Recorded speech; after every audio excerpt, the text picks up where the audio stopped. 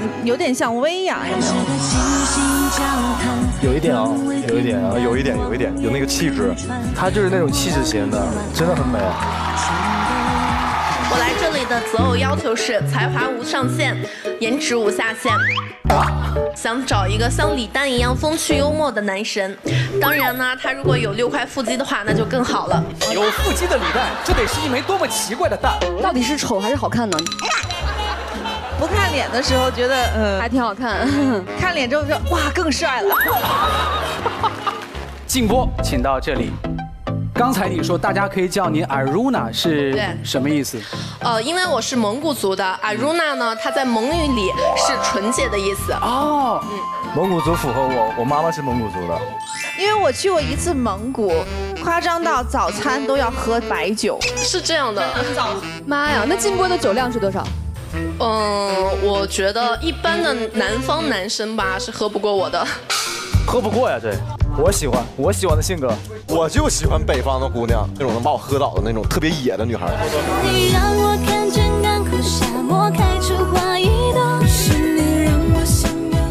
来呢，就要进入到我们的抢麦环节了，因为在这轮互动当中，抢麦成功的男嘉宾是可以获得唯一一次和女嘉宾隔空直接互动的机会。你们准备好了没有？好了，好，我要准备冲刺了啊！三。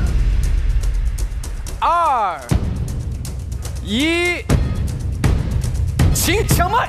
欢迎登录新浪微博，关注东方卫视中国新相亲官方微博，观看合集，边看边聊相亲趣事，也可进入中国新相亲话题页，观看相亲发糖时刻，每周解锁热议讨论。身高优势，像明星，但他不像李诞，你会介意他太帅了吗？帅也不是不能接受，过于帅了，真的假的？我看一下。哇，这也太帅了！为什么只有我不能看呀？他有点像王凯啊。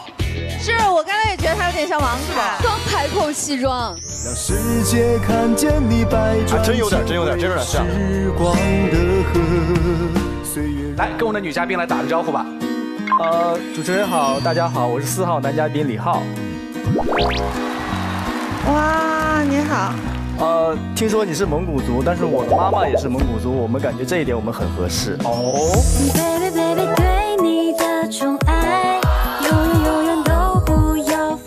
你会说蒙语吗？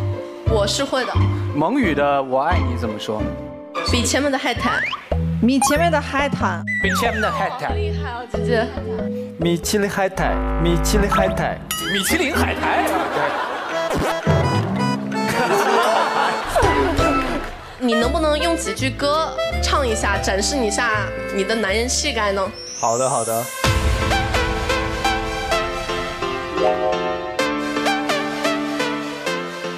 让我们红尘作伴，活得潇潇洒洒。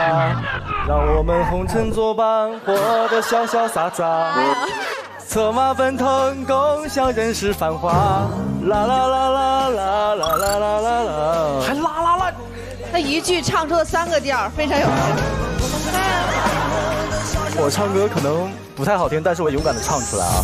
你现在对四号男嘉宾呢，算是有了一个模糊的概念，对不对？接下来我们一起来看一下五位男嘉宾的关键词。我们先来看一号，四十分钟，四十分钟是什么？他可能是老师吧。他的职业是四十分钟一节课，对不对？我觉得是应该连续说脱口秀四十分钟。有手有手，平板支撑四十分钟，这也太飞了。他可能能跟我喝酒喝四十分钟吧，我都能喝四十分钟啊。我一般整烈酒，我喝烈酒，他们不一定整得过四十分钟。不是四十分钟是因为啥？四十分钟，四十分钟就是因为我的这个职业，做一个造型啊，造型四十分钟是吗？啊，第二位麻辣歌王，一边吃麻辣烫一边唱歌，他可能是四川地区的吧？哇，聪明啊，他好聪明，他好聪明，一个有智商的女孩子啊。这四川小哥你接触过吗？呃，我觉得四川的男孩子都特别好呀，他们特别的宠老婆。如何？如何？如何？我赢了，好吧，我赢了，好吧。三号男嘉宾相亲二点零，他是不是之前参加过什么相亲节目？有可能，然后这是第二次来参加，有道理。哎，被人家猜到了，我不是啊。其实这个名字起的有点危险，我感觉。为什么？就是会让大家觉得他很爱相亲，经验丰富，还没有见面就把他给 pass 了。哎呦，我不是相亲呀。那你怎么看呢？相亲二点零？我觉得他可能眼光有点高吧。你好会说话哦。对，还挺给面子的，情商好，一点都不像咱俩，显得我们俩情商很低，真是的。这个女孩就是我要的类型。我们来看一下刚才那个王凯的关键词：绿皮火车。我觉得应该是一个很爱去旅游的一个人，就背着吉他呀，什么坐着绿皮火车去旅行，而且就是很文艺的那种，是喜欢坐飞机，然后喜欢坐绿皮火车，也有可能是很穷的那种，就只能坐绿皮火车，连高铁都坐不了。刚才的歌声，你在看绿皮火车，你觉得是什么意思？他刚刚的那一番发言特别的粗犷，然后很豪迈，但是他这一个描述呢又很文艺，我觉得，哎，这种结合还蛮有意思的。好懂我。油腻油腻大哥。哎，最后一位肌肉大白。这个好直白啊，这还需要猜吗？直白的油腻男孩，喜欢健身。肌肉我懂，大白啥意思？就是特别直白的肌肉，没有任何内涵。正好符合我的六块腹肌嘛。哇！会不会有可能是健身失败的？曾经有肌肉，现在是大白，这个你能接受吗？那我要看看他有没有内涵。五位男嘉宾都已经放出他们的关键词了，那接下来你要选出三位很心仪的男嘉宾，我们进入到下一轮了解。女嘉宾，请做出你的选择。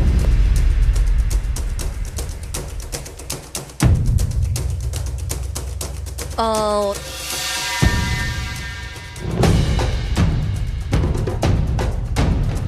第一个选肌肉大白，第二个绿皮火车。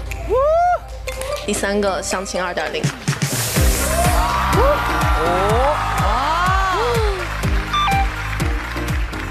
对不起，四十分钟和麻辣歌王，看看你们能不能在抢亲的环节出现。欢迎三四五号男嘉宾的亲友团出场，欢迎各位。第三号谭子浩，这位嘉宾来自于真爱的，加油！四号李浩，加油兄弟，加油！五号汪天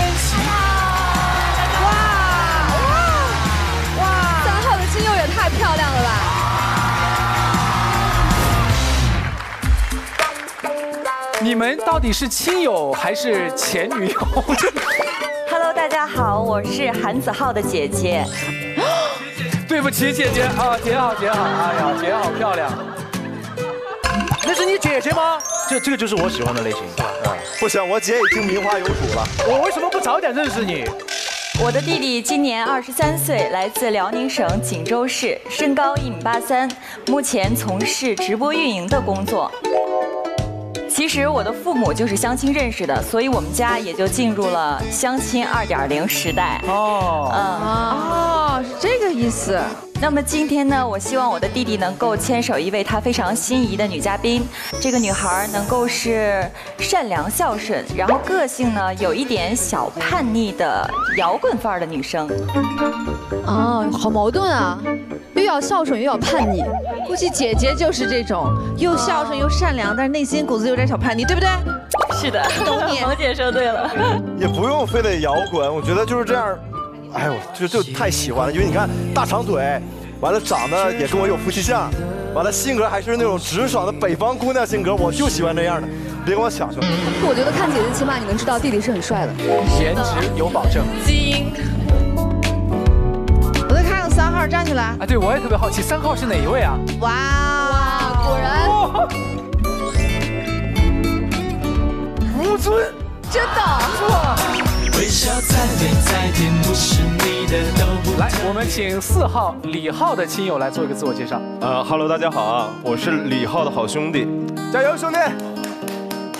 李浩今年二十四岁，他来自辽宁省朝阳市啊。他属于在外是你的彭于晏，在内他是你的开心果。哎呦！李浩长得超级帅。这什么意思啊？因为他经常坐绿皮火车，他说他都是为了浪漫，那其实我就感觉他为了省钱，为了省钱。行了，你就别说话了，下一个环节。所以四号的男嘉宾他比较会过日子，对吧？而且确实住的比较远，只能坐绿皮火车。来，请五号翁天琪的亲友，咱们这一对儿哈。主持人好，女嘉宾好，我是温天琪的表哥大蓝。呃，大家好，我是温天琪的嫂子，我叫樊烨。我们两个呢是中国新相亲第一季牵手成功，而且现在我们已经结婚了。我这么一生才遇到，我答应自己不再庸人自扰。我们绕了这么一圈才遇到，我比谁都更明白你的重要。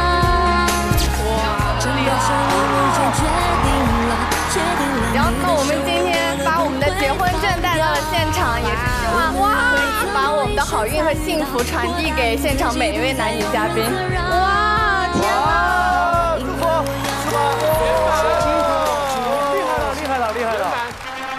哇！来来来来，没想到相亲节目还有真的结婚的。没有斯文，来看看别人的结婚证啊！天哪，欢呼，热乎乎的。浪漫的数字，太浪漫了。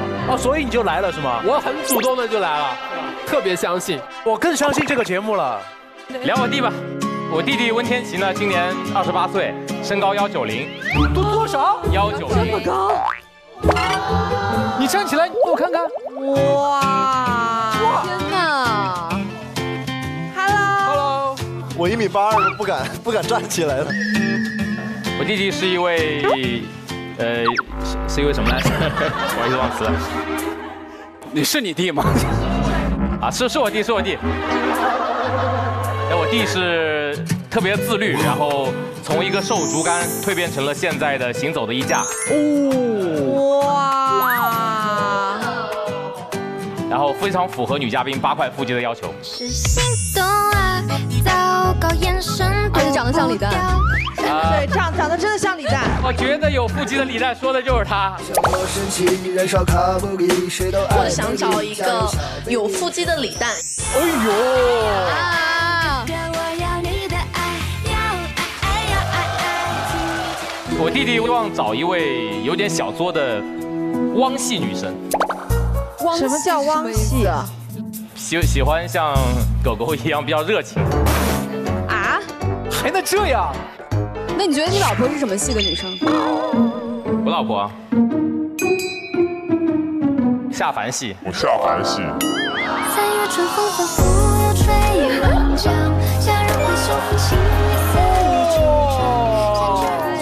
哇，下凡系的，我第一次听说哎。好了，我们来看一下女嘉宾有什么样的信息呢？请看短片。创业以后，我被迫过起了三餐生活，凌晨三点睡觉，只睡三个小时，每天都在为了工作昼夜颠倒，熬夜又熬心。即使每日外表光鲜亮丽，但在前行的路上，我们时而会觉得缺少充足的能量，难以再继续前行。吃够了创业的苦，有时候也会期待爱情的甜。他比较喜欢仪式感啊，那我就是一个特别有仪式感的男人。我也带点仪式感，可以为他放大。每天都喊着要脱单和恋爱，可是当追求者真的找上门，小姐姐加个微信呀。对不起，我不接受草率的爱情，不玩交友软件，不轻易交出号码，不在微信上闲聊，只做这条街上最艳丽的铁皮玫瑰。哇，它可以各种风格变换啊，可奶可欲。我的天哪！脑细胞都给了工作和社交，所以爱情里只想做个不必操心的小孩，想找一个成熟稳重、有内涵、有求必应的雅痞大叔。而你会是我的那个田螺大叔吗？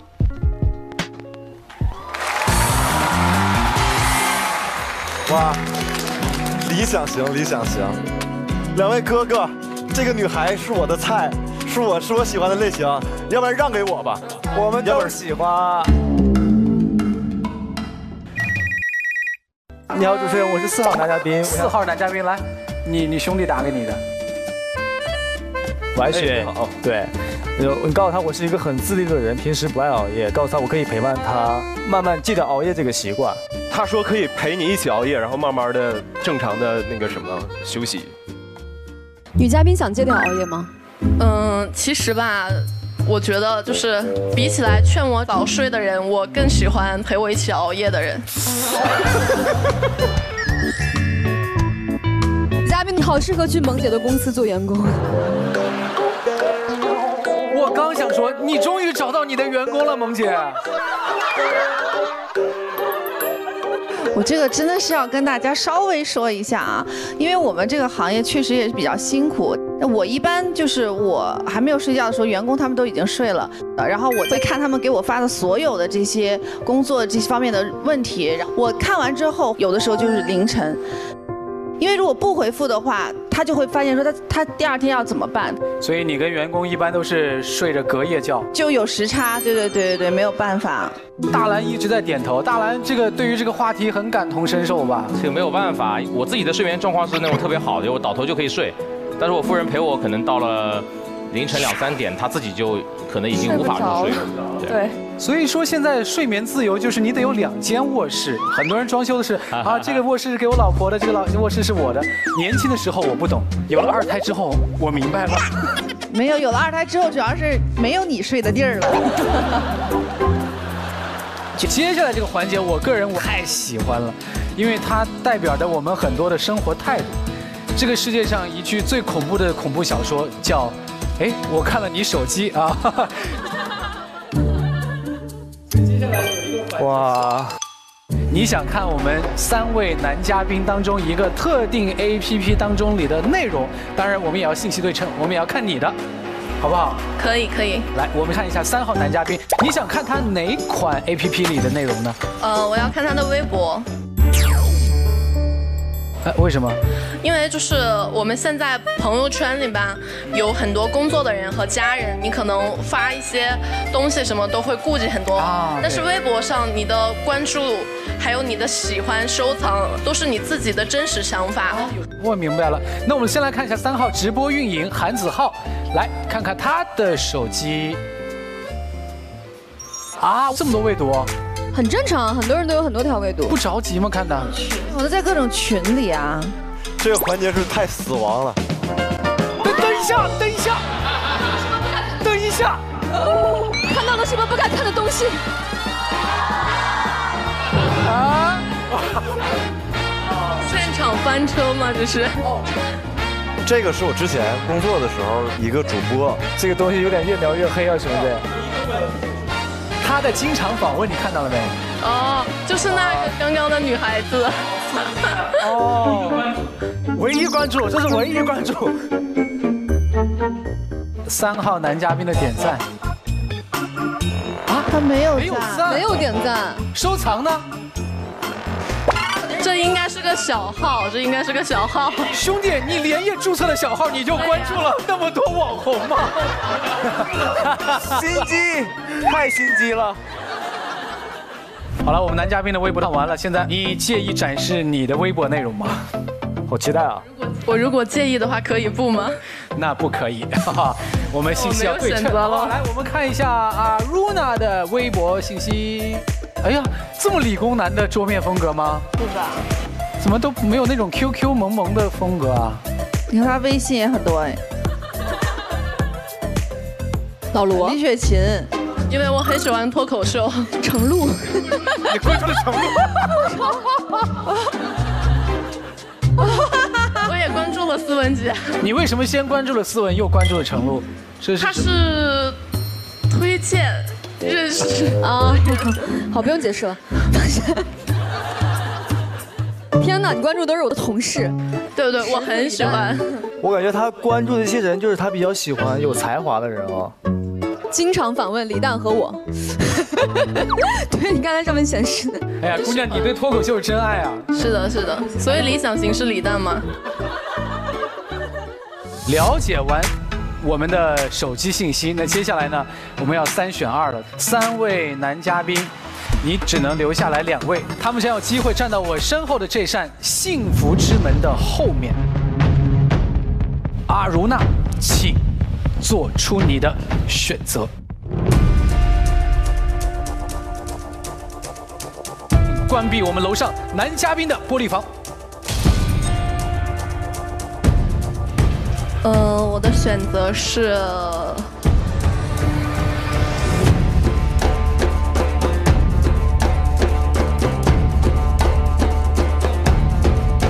我向这位女嘉宾推荐一下，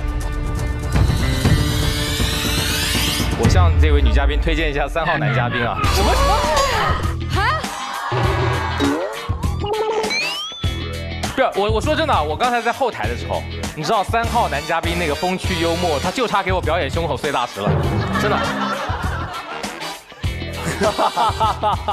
你确定这是你表哥还是他表哥？是他表哥。不是你，你知道你媳妇儿在旁边都已经快要吃速效救心丸了。不，你是哥哥吗？你真的是。下一个女嘉宾我一定好好把握，好不好？耶，你们去领证吧。我真的觉得表哥仅代表他个人的想法，四号跟五号反而我觉得可以考虑一下五号。为什么？四号就是感觉比较冷静，按道理说他一开始抽到了跟你就是一开始的那个特权，他他应该非常的热情，但是你看整个这个过程当中也比较冷静。我我我只是电话没有打通而已。然后五号就是你的菜。说好。好，阿如娜，请做出你的选择。呃，我的选择是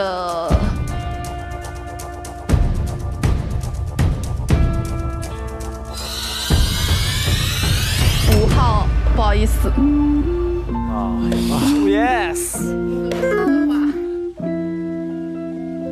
我觉得应该听哥哥姐姐的话。五号男嘉宾，你表哥没有失望。五号的表哥满意的回去了。欢迎 登录快手或快手极速版 APP、腾讯视频、百视 TV 观看完整节目。现在终于到了我们的最后选择时刻，请选择。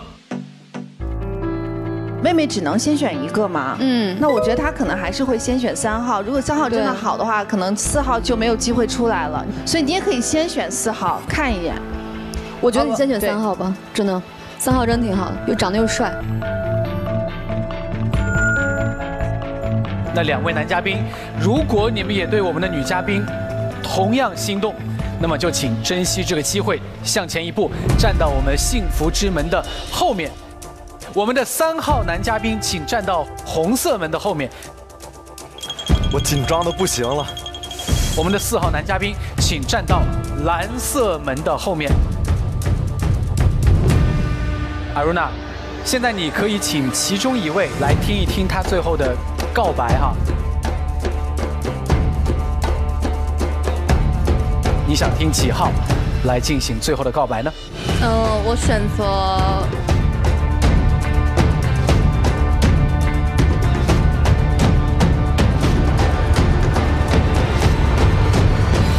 我选择四号，没选我。请打开我们蓝色的爱情大门，来见证答案吧。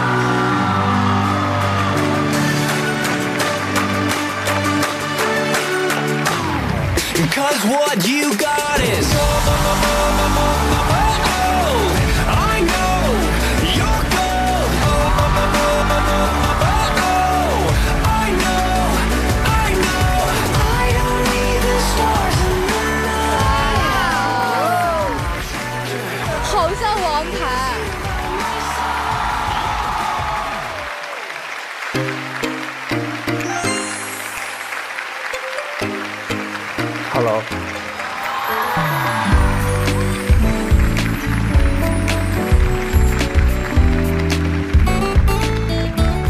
现在可能有一点紧张，就是我想过很多种方式遇见未来的他，但是在这里遇见是我没有想到的，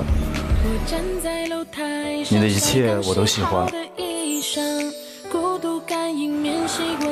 可以陪我去坐绿皮火车看沿途的风景吗？我想走进你的世界，我想照顾你。夏天甜甜的恋爱到冬天就能躲在他的怀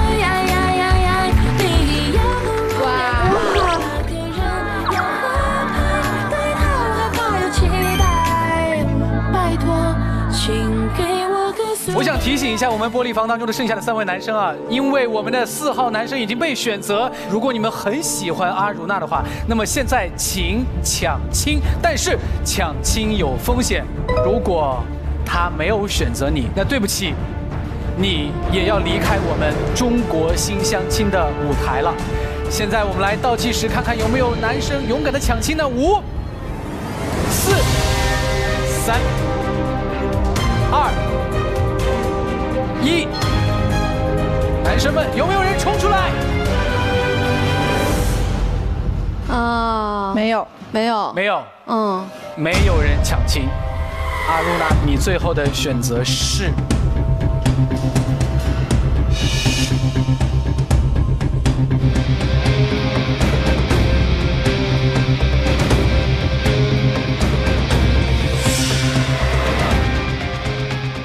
我觉得就是你很好，长得很帅，然后完了，但是我觉得我好像。对你没有那种来电的感觉哦，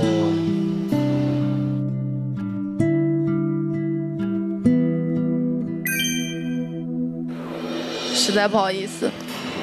觉得阿如娜很尊重自己的内心，就是也没有找什么其他的理由，只是说你是个好人。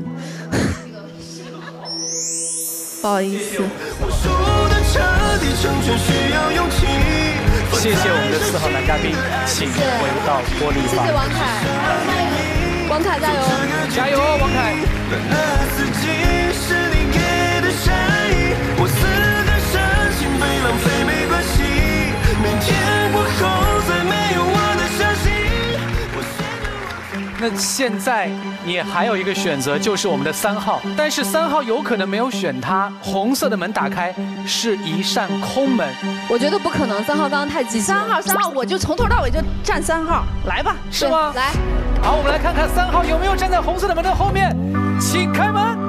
他见到三号肯定会来电的。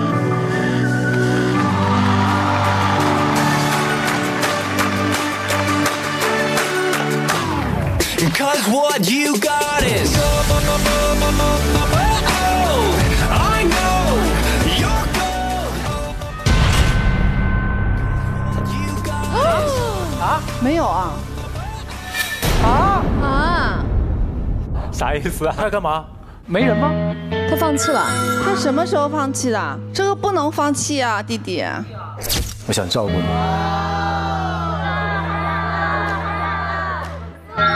不让选了，我能不上？我能上去吗？没被选择，我为什么还要在啊？他的三观、外貌，所有的东西，我都觉得都很合适。我在底下已经非常期待、非常期待等待门开的。我的所有话语、所有热情都已经准备在门开的时候跑过去跟他说。然后他选择了四号，因为我本人上一段恋爱就是没被坚定选择，就是跟他情况差不多，我就我就说我算了，我我不我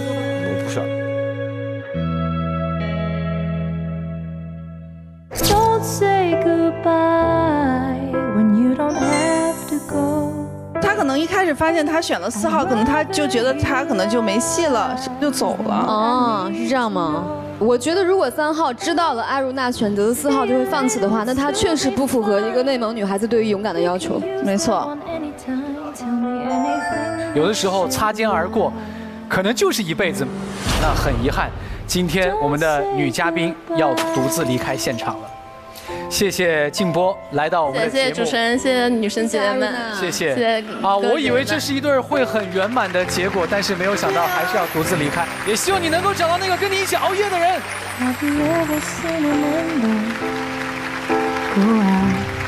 一定可以了，加油，加油，加油，加油，加油！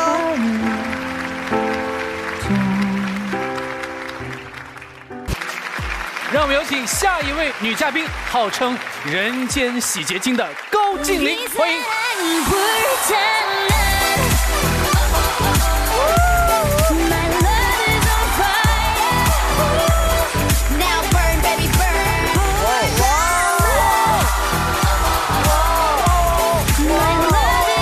有点可爱，还有点可爱。男嘉宾好激动啊！哇，他的眼睛好有文化的样子啊，一看就是读过很多书。好漂亮啊，好像一个模特。对。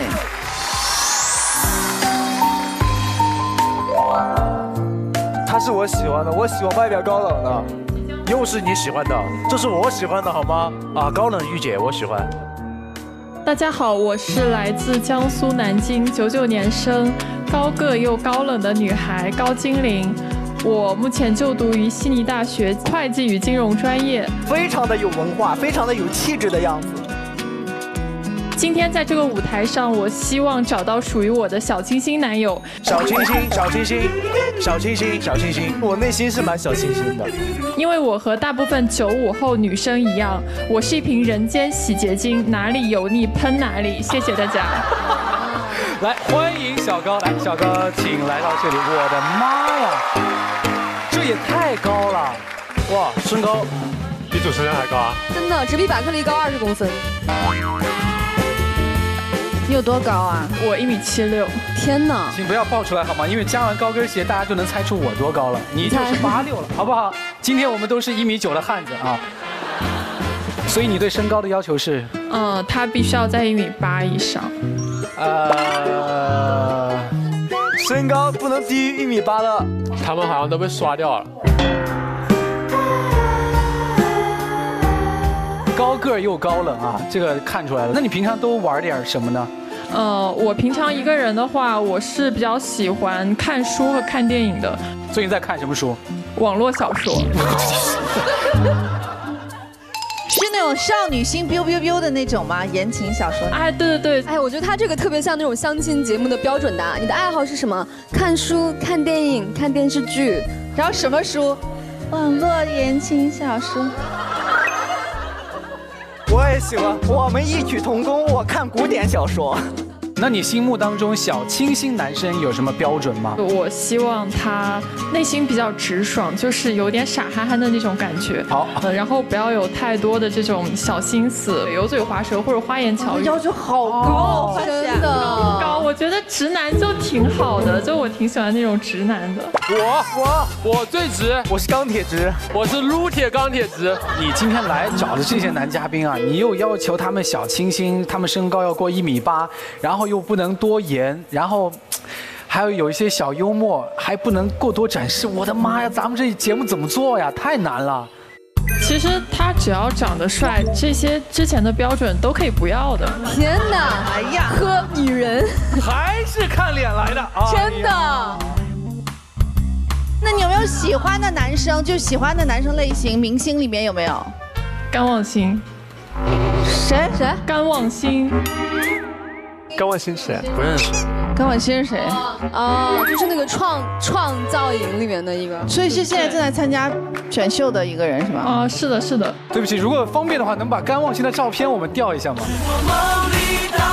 哦，他们是正在跟利路修一起选秀吗？哎，是的，啊，是的那我就知道了。哎，我就只认识个利路修。啊你认识利路修吗？思文？我认识李诞。哎，你有不喜欢的长相吗？吴亦凡。吴亦凡。哈？感觉吴亦凡也挺帅，挺帅的。吴亦凡很帅啊。他也太帅了吧！他喜欢帅的，然后他又不要太帅的。太帅的有什么不好呢？你觉得？就是我，我会觉得我配不上他。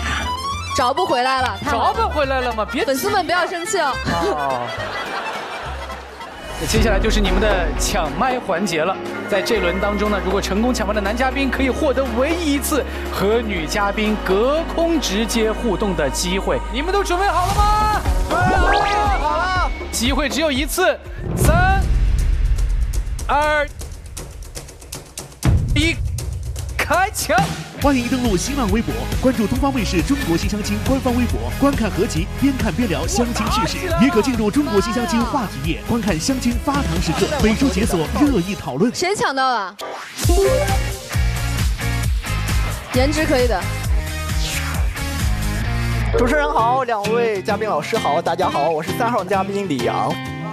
可能我觉得是缘分吧，因为我跟这个女嘉宾比较有缘，因为女嘉宾非常的爱看书，我个人也是非常的爱看书。好，那你说说吧，你爱看什么书？我爱看古典小说，女嘉宾好像喜欢看网络小说。呃我觉得我们是时尚和传统的结合。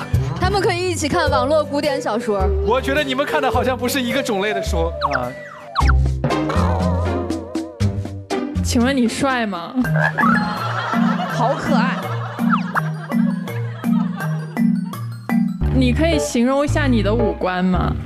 举觞白眼望青天，皎如玉树临风前。哇，好，像巩汉林。萌姐说她像巩汉林。扎心了，老铁。什么像谁？她说他像巩汉林。巩老师吗？对不起啊，我挡一下镜头，让我看一眼。帅版的。巩汉林老师在年轻的时候真的颜值还是可以。就真的很帅吗？你刚刚看见了吗？我觉得肯定没有甘望星帅。谢谢思文老师，谢谢姐妹。我觉得这个姑娘啊，典型的那种零零后的小姑娘，颜控，你知道吗？就喜欢帅的，是不是？咱们这样吧，我们要不要来看一下我们男嘉宾们的关键词，好不好？要的。来，大屏幕，请翻关键词信息。继承者。哇！三号刚才跟你聊完，他的关键词是继承者，你觉得你的解读是什么？他肯定想到了那个韩剧。对啊，李敏镐有一个叫做《继承者们》。如果他长得特别像李敏镐，你觉得怎么样？李敏镐挺帅的。哎呀，这不得是特别帅吗？那你觉得富二代是你考虑的一个因素吗？不啊，因为我觉得我也挺有钱的。哦，哇，你也是富二代？真的？我不是，但是我不是很看重男生的物质，其实。他就是喜欢帅的，他只是颜控而已。那你们怎么看继承者？为什么大家一定会想到物质物质层次呢？对呀，继承完全可以是文化传承呀。我感觉他可能这种继承者可能是不一定是继承家产，他有可能是继承了其他的，包括非物质文化遗产。对，非物对呀，他不是很喜欢古典文学吗？这些可能就是一些文化的继承者吧。嗯，感觉是饱读诗书，从小书香门第啊，有可能这方面继承者。但不知道看你们有没有缘分继续聊吧。我们先看看一号，他的标签是四十分钟，可能是个学生，每次上网课都要上四十分钟吧。四十分钟啊，四十分钟就是因为我的那个职业。你现在是九九年是毕业了吗？我没有毕业，但是我只是确定了工作而已。我现在也是在家里面上网课写论文。那如果是学生，你会考虑吗？会啊。好吧，你觉得麻辣歌王长得帅吗？我不知道哎，就好像很会唱歌的样子，但是前面那个麻辣那个形容词，我也不知道是什么意思。女嘉宾除了长得帅之外，对其他真的毫无要求吗？有的，有的。嗯，你喜欢什么样的性格？嗯，性格的话温柔一点，就是不要有那种暴力倾向，或者说是特别的自以为是，其他我都可以接受。那基本上就长得帅就可以了。绿皮火车你怎么读解？这个我就真的不知道了。我一开始上来看到那个绿皮火车，我还一直在想是什么意思。我给你提示一下，这个人长得像王凯。你喜欢吗？喜欢。肌肉大白，你觉得他是什么类型的男孩子？应该是喜欢健身的男生吧。呃，你喜欢男生到处都有肌肉的样子吗？首先，如果这个男生喜欢健身的话，我觉得他一定很自律。他提到你自律了，他提到你自律了。呃，但是我觉得具体怎么样，可能还得有进一步的接触，才能确定。你已经看了五位男嘉宾的关键词那接下来呢你就要来选出三位。你有一些些动心和心仪的男嘉宾请做出你的选择。我的选择是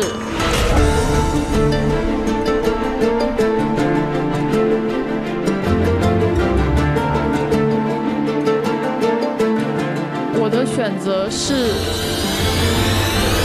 一号。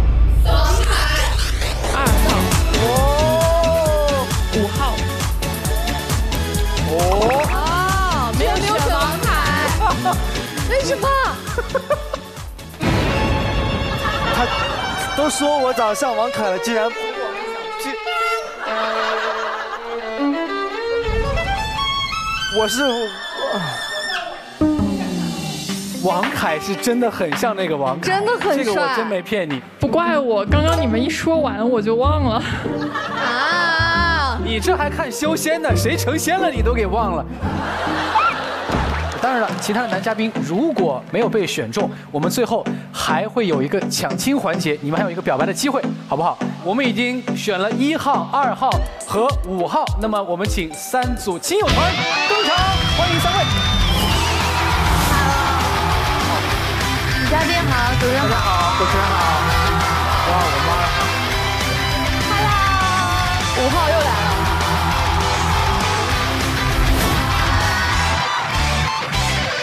说啊，妹妹，五号特别帅，五号男嘉宾长得特别像李诞，有腹肌的李诞。咱们这样，欢迎各位，我们先介绍一下吧，先请一号。大家好，我是一号男嘉宾盛鑫的舅舅。Hello，大家好，我是盛鑫的表妹。啊，我们盛鑫今年三十五岁，来自浙江，身高一米八零，他懂事又孝顺，很会照顾人。如果女嘉宾嫁给他，绝对不会因为谁来做家务而困扰。四十分钟的标签就是盛鑫每一次变身是要四十分钟左右。变身是什么意思啊？其实他是一位造型师哦，他现在有一个个人的造型工作室哦，所以女生嫁给他，绝对会每天都漂亮。你一定要选择我们盛鑫。一号，我看一下长啥样呢？姐妹靠你了。哦，一号长得像品冠。觉得有疼你的所以说女嘉宾的话，多多关注我们这一组。其实我哥哥的话挺像那个薛之谦的。薛之谦，你的你的段子去哪儿了？薛之谦，深藏不露我是。就是我也很想问你们一个问题啊，大部分男生嘛，二十七八岁就结婚了，为什么他三十五岁还？哦，是这样的，因为的话，就是之前我哥哥因为也遇到了一些感情问题，受到挫折，然后他就导致了就是后面有一段阴影嘛。他很专一的，所以沉淀了很长一段时间。对，然后就是以事业为准。说来话长，一言难尽。忍辱负重，开了一家工作室，终于忘记了前爱的伤痛，转身来到了中国新相亲的舞台，遇到了你，妹妹。舅舅的这份急切的心啊，让我仿佛看到了一号男嘉宾之前这个爱情的痛，真的就赶紧想找到一个好姑娘。我特别能理解啊，欢迎咱们一号的亲友团，请二号，二号您的身份是？我们的家乡在希望的田野上，炊烟在新建的住房上飘荡，小河在美丽的村庄旁流淌。阿姨唱歌挺不错啊。我从小学的时候就开始说我这个梗，就因为我这个名字。希望的田野上，所以当时听了这首歌，给他取了田野吗？呃，也没有。我儿子，呃，今年呢二十六岁。嗯。我们来自于四川成都。哦。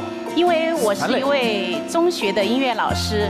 哇哦。所以儿子呢，呃，可能就继承了我的一些基因吧。我才叫继承者吧，我才叫继承者吧。你应该叫继承者。他呢是一位。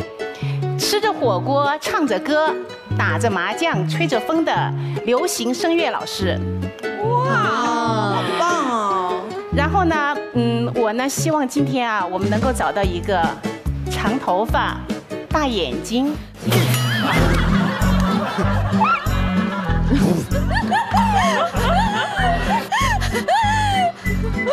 嘉宾是短头发，短头发，妈妈是来拆台的吗？我服了，我服了，我服了，我。阿阿姨阿姨，咱们套路词儿不能这么说。不是您调整一下，根据女嘉宾的现场情况。人人姑娘留着短发，你要找个长头发。而且我儿子这要求不光这一个呀，还有其还有其他的，比如说还有比较精致，比较精致，而且有点那种御姐范儿的一个女孩子。还有御姐范儿哦，真的是，成都娃儿要求很高哦。御姐范儿，御姐范儿我晓得嘛，就是那种很酷的女孩儿。但是我特别不喜欢特别作的孩子。比如说，就像电视剧《安家》里面的张程程，哎呦我的妈呀！妈呀！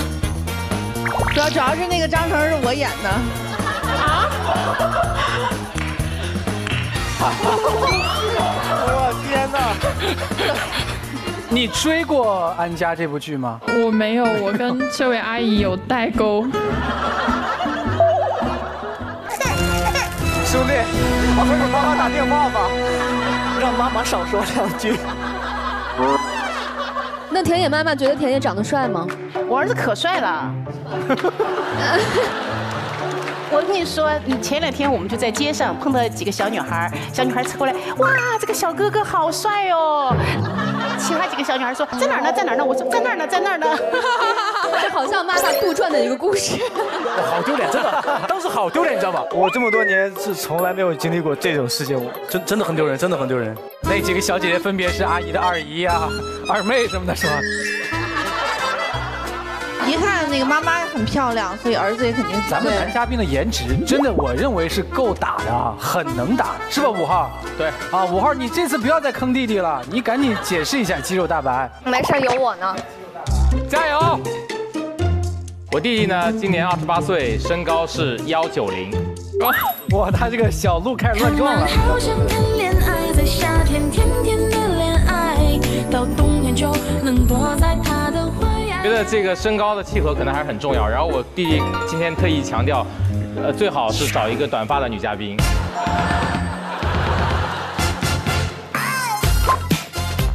然后如果有能能有个大长腿就更好了。你哥终于助攻了，你哥终于帮你哥终于帮你了这。次他是你的哥哥。然后我弟呢，就像樱木花道。一下从李诞到了樱木花道。真的，他刚刚说他弟弟像李诞，现在说像樱木樱木花道。他还是最好要穿蓝色的衣服。这是你临时想的吗？不是，没有，就冲这个不要脸的劲儿，我觉得还可以。我是不承认，不会承认的啊。他的性格就是比较内向，然后低调，不爱乱讲话，然后可能，但是可能稍微缺乏一点有那个幽默。别说了，你适适可而止，刚才完美。刚才挺好是吧到刚才之前完美啊。就我觉得，我觉得挺搭的，因为刚才女嘉宾在表述她喜欢的那种男嘉宾的时候，我觉得各方面都挺搭的。好的，可以重点关注一下我们，对。可以的，可以的。哦，好会夸，好会夸，好会夸，好会夸，可以，可以，可以，可以。你刚才说完这段啊，二号妈妈都有点急了。田野妈妈，我们再给你一次机会，你您要不再找我一下那个短发的事儿，麻辣歌王的事儿，您再给我们解释一下。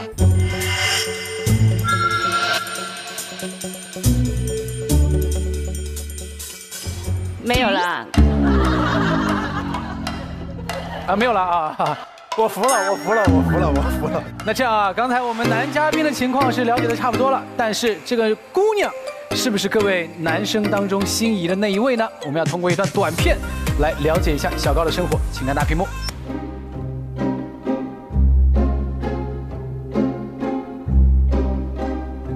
有一句话说，你的原生家庭里就隐藏着你的婚姻模式，你相信吗？第一，我越来越发现，女儿找的男朋友都会潜移默化像父亲。我有过两段感情，他们都是比较成熟、强势的类型，某些方面特别像我爸的缩影，坚硬的像是家乡的城墙。第一任比我大足足十五岁，但他竟然隐瞒了自己的婚史，所以我至今不能接受比我大十岁以上的男生。第二，家庭相处模式影响着你的一切亲密关系，就像一只被圈养的宠物，从出生起，爸妈就对我实施超严格管教，不许去酒吧，不许睡懒觉，随时要视频，随地要汇报。所以我反而想要一段超自由关系，不因为繁衍而结婚，不用金钱捆绑彼此，也不试图改变对方。遇见同样拥有自由灵魂的伴侣真的很难，但我还是会坚持不懈地找到你。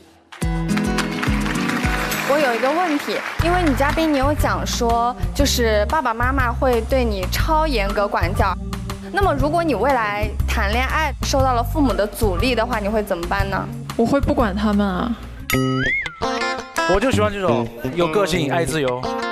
以前我找的男朋友会有我爸的一个相似的点，或者说是缩影，但是我现在就想找跟他完全相反的。好直接，我爸已经开始催婚了啊！九九年的，他之前帮我选过，然后呢，就我觉得挺油的，我我，所以我叛逆的来到了这里。啊，她其实非常有主见，这个女生。给你个机会，你向男生可以提一个你最关心的问题，好不好？我想听他们唱 rap，唱 rap。啊呀呀呀呀呀呀呀！rap。哇，喜欢你，喜欢很多，我好。rap 我不会啊。因为我觉得喜欢说唱的男生都会有那种比较自由的灵魂。哦啊，这样的吗？而且有个性，有自己的风格，对不对？我喜欢你的想法，来，我们开麦。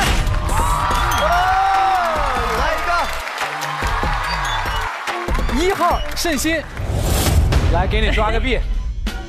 那那我就随意发挥。来，我们给打节拍。来吧，盛鑫，加油！Drop the mic。二。又又又又，今天礼拜天呐，忽然收到一个短信，可能。史莱宝说的不错。你还是饶了我吧，不为难了，不为难了，就直接跳过吧。他可能连 beat 是什么都不知道。他毕竟三十五岁了。那我们来让二号吧，二号声乐老师，是不是不一样的 rap 呢？我想说，其实 声乐老师也不会 rap。哎呀，你别说了，一号那么烂，都说了半天两句了。你怎么着也得来个五六句吧？我我只会我只会那个大碗宽面，大碗宽面。二号，加油，田野加油，来抓个逼。哟哟，你看这个碗它又大又圆，就像这个面它又大又宽。OK OK，好好好。五号，你能够让我们来点惊喜吗？呃，可以开始。哎呦！啊，下场。听见你说，朝阳起又落，朝阳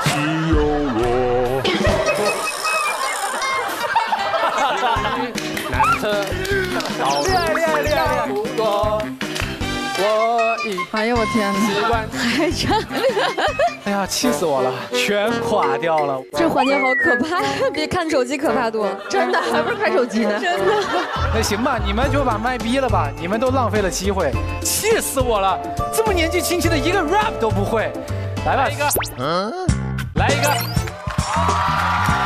主持人来一个，再来一个，主持人来一个，我给你们示范一下什么叫 rap，兄弟们。好 dj 来个 beat yo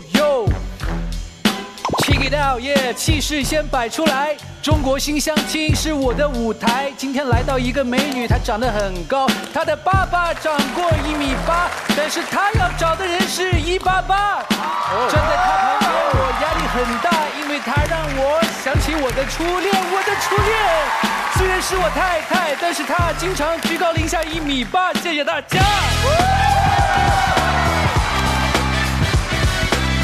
学到了，学到了。我三十六岁了，我还能来点这个新鲜的？哎呀！没想到这样一段表演，居然可以在这个环节中胜出，真的是。这么个玩意儿都赢了，你想想看，这哎呀，真的是一段精彩的菜鸡互啄呢。对不起啊，我不是凡尔赛，但是除了刚才我的表演，你更喜欢谁的表演？五号有点可爱，嗯。你给我了一个微笑，我可不可以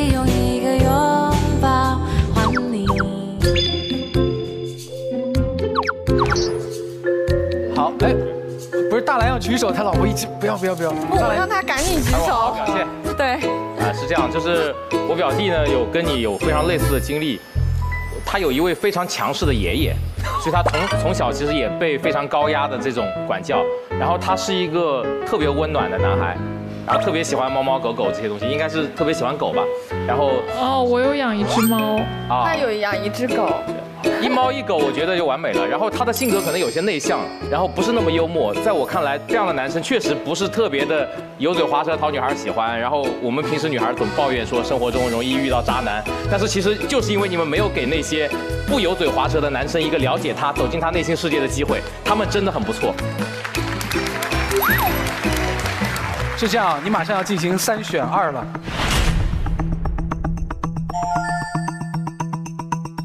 请走上你的选择位，请关闭我们楼上男嘉宾的玻璃房。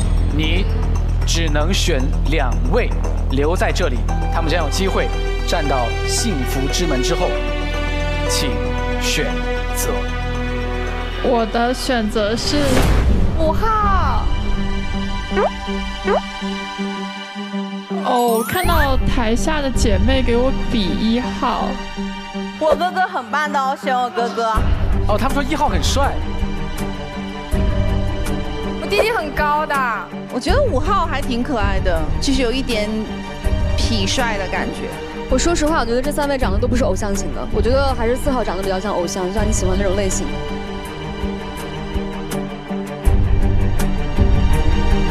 五号，然后一号，哦，一号、五号留下。恭喜一号和五号留了下来。那么田野妈妈就对不起了。谢谢，田野妈妈。希望你找到幸福。阿姨的歌声，也希望田野能够有所得偿哈。谢谢谢谢。好，现在两位男嘉宾，如果你们也对我们的女嘉宾同样动心，那勇敢的向前一步，来到我们的幸福之门的后面。一号男嘉宾，请站在红色的门后面；五号男嘉宾，请站在蓝色的门后面。小高，现在你可以先请出一位，但是我要提醒你的是，你心仪的男生呢，可能未必站在门的后面，所以最后你的选择是什么？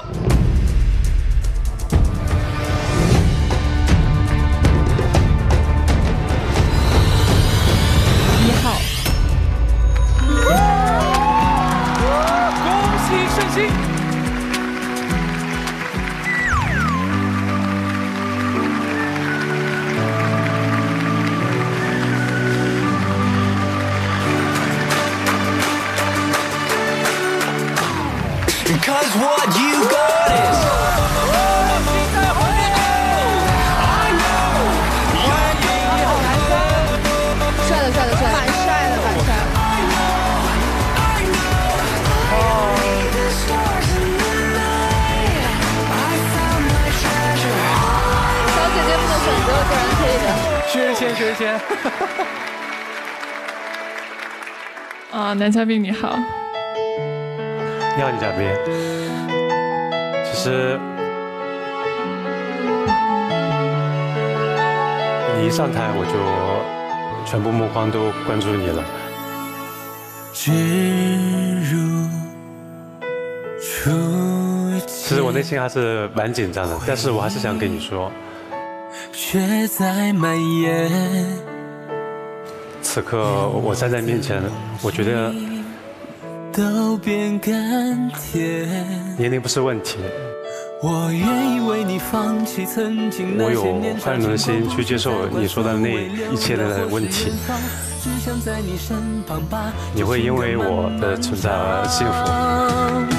送你三月的风，的雨，九月的风景，大雪漫天飘零，做你的嫁衣。我觉得我愿意做你的避风港，你愿意为我守护。每次星星陪伴的伤情，让我余生都有关于你。好的，我们现在一号男嘉宾盛鑫已经表白了，但是玻璃房我们还有四位男生，你们要抢亲吗？五、四、三、二、一。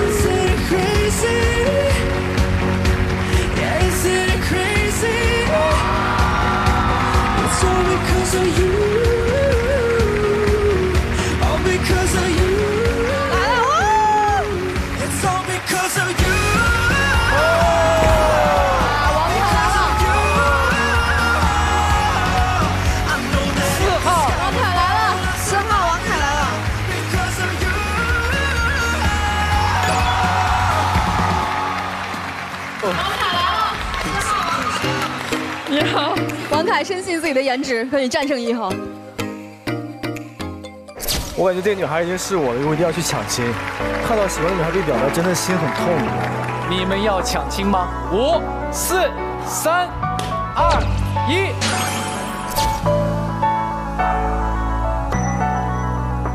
我感觉我们各个方面都蛮适合的，身高啊，喜欢的性格呀、难过，才学会长大。但是刚才哪上面没有选我，觉得其实挺遗憾。分开过，才懂得牵挂。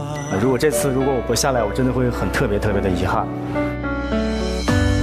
如果说谢谢男嘉宾。虽然这是我可能是最后一次表白的机会了，但是我真的想对你说，但此刻我却想在你身旁啊。你的一切我都挺喜欢的如。果这世界复杂，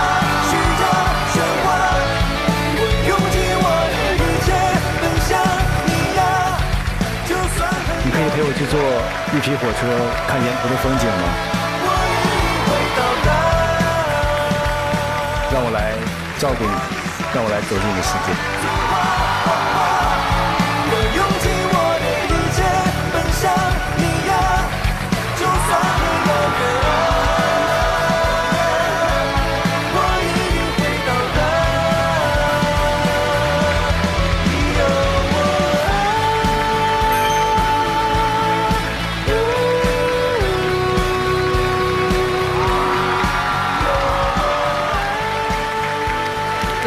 小高，听完两位的表白呢，我要跟你说一下现在场上的形势。你选择的是一号，我们的四号是抢亲，但是在这个舞台上抢亲是有风险的。如果你没有选择他的话，那么他今天也要离开中国新相亲的舞台，所以你的选择很关键。我们同时也非常好奇。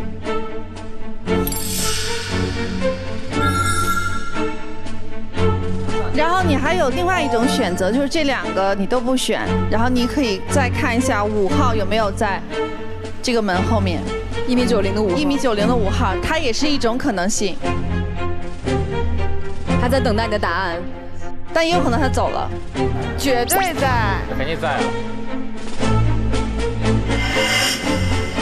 来吧，我们来看看结果会怎么样。选几号？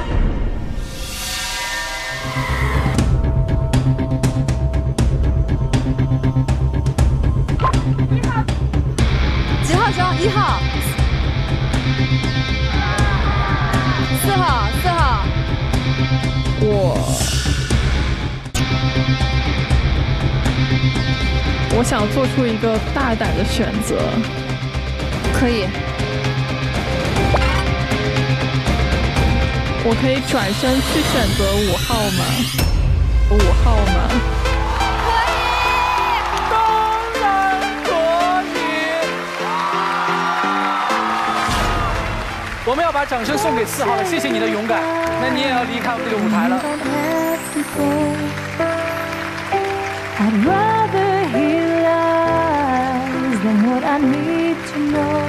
谢谢一号一号继续回到玻璃房。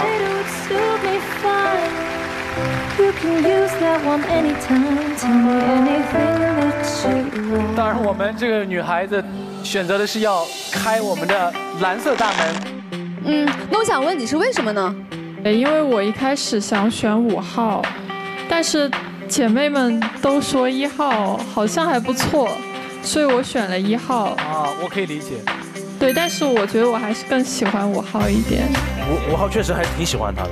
来吧，五号男生，我们的小清新翁天琪会不会在蓝色大门的后面呢？啊，好紧张！一定要在啊！请开一定要在。门，来吧，在吧。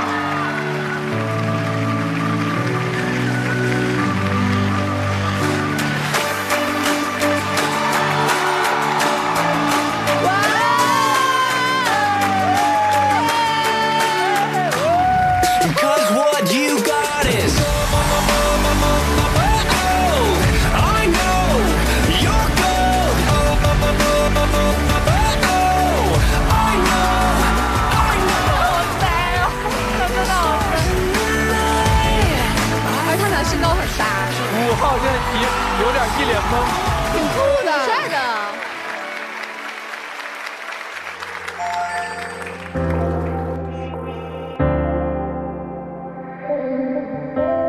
他静止了。五号被点穴了吗？来吧，说两句吧。我一直在。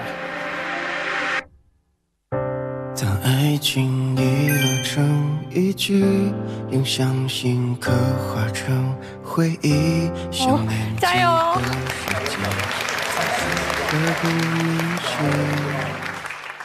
在我想的之前的表白，通通忘掉了。失去，都想把你再然后，我希望你能以后未来给我这个机会到南京。想见你，只想见你，未来过去，我只想见你，穿越了千个万个时间线里，再然后，我是一个很缺爱，但是我一直在弥补，一直在找自信。我的工作，我热爱的健身，一样，在等待一句我愿意。因为我的经历跟你太像了。觉得我懂你的一切，我想见你，还懂你的一切。你未来过去，我只想见你。呃，谢谢男嘉宾。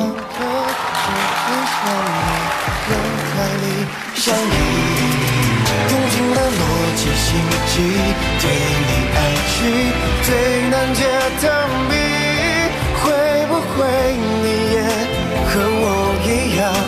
在等待一句我愿意？这一段话让我就特别喜欢他，恭喜你们！我要给你们送上幸福的信封，好不好？来，根据规则，你二连拒绝，所以你必须要和我们的五号男嘉宾牵手。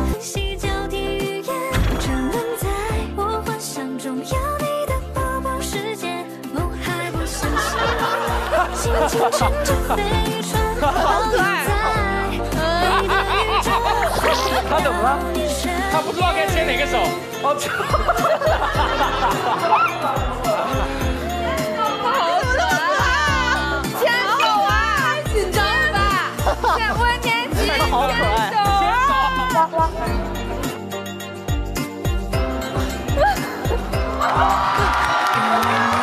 这就是心动的感觉。我希望以后会是一个长远、永恒的结结局。我的话会保护他很多。我以前锻炼就是要强壮自己，保护我一定要保护的。我们的节目就到这里了，每周六晚准时，请大家收看东方卫视为您播出的《中国新相亲》。再次感谢大家。